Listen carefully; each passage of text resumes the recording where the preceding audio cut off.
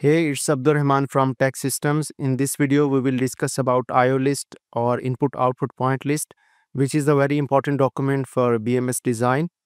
This document not only provide detail about uh, input output points for different equipment, but it also helps us to build BOQ for the field devices and also helps us to select DDC controllers and IO modules for different DDC panels inside our project from start of my career i always find it frustrating to prepare these io lists manually which means that you have to uh, make ddc sheets for each panel and then you have to manually enter data inside these ddc sheets for different equipment.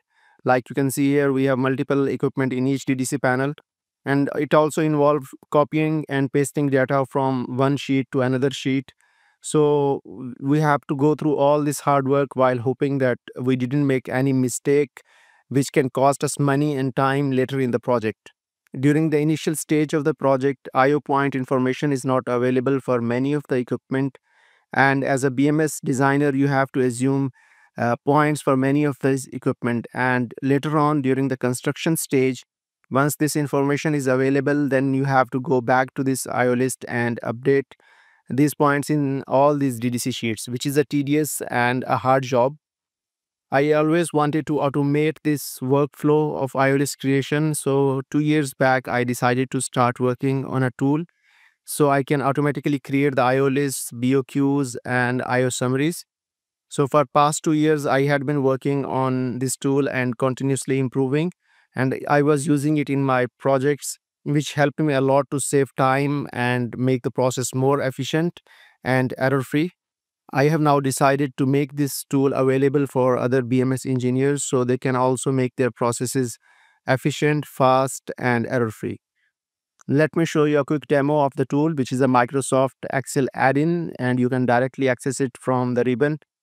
Here we have the project setup where you can define the project title. You can also select color and font for different cells or rows in the IO sheets. Also, you can include different headers. You have uh, multiple options here and also customized headers can be added from here. There is also an option for IO columns where you can select or unselect uh, multiple columns and also you can add customized columns. And here we have equipment header style customization uh, with the background color and the font color. After finishing all the settings, just click on this button and you will have the two sheets created equipment schedule and equipment IO library. And you have to populate your data inside these two sheets. In the IO library, we have to define uh, equipment templates for each type of equipment. So for example, if you have two types of uh, AHUs in your project, you have to define IO points of these two types only here. And you, you can categorize them by the equipment category and the type. And like this we can list all different types of equipment and each type of equipment has to be defined here only once. And in the equipment schedule we have to define information like building number uh, ddcs which we are going to install and the equipment tag which will be connected to this ddc and also the equipment types which we have already defined inside our io library after entering data in the equipment schedule and IO library, just you have to hit the generate IO list button and you have an option to select the spare IO percentage. I will go with 15% and it your all DDC sheets will be created in less than a minute. Here I have DDC sheets for all the DDCs. In this project, I selected 8 DDCs and all these sheets are well formatted and you can customize all the colors even header information you can customize here. After creation of all the IO list, we can generate the IO summary for all the DDC panels.